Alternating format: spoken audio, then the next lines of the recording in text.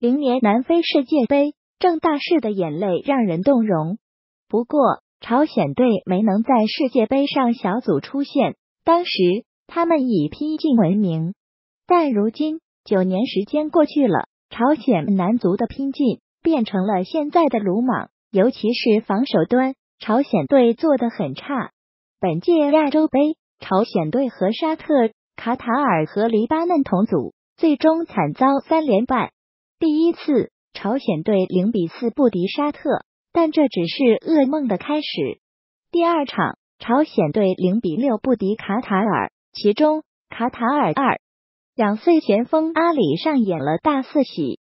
第三场和黎巴嫩的比赛，朝鲜出现无望，不过先打进一球，但他们的后防线此后多次犯错，最终还是一比四告负。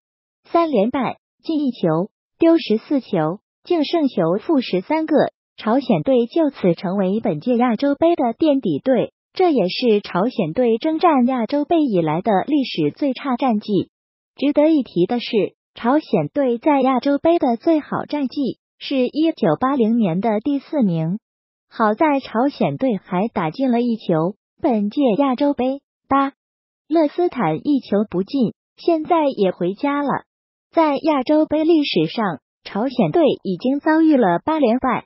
二零一一年亚洲杯，朝鲜队曾连输伊朗、伊拉克。